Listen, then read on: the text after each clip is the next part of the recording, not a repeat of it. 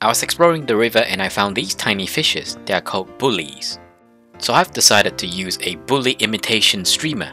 So I went to a nice stretch of the river and decided to start trawling with a long line out.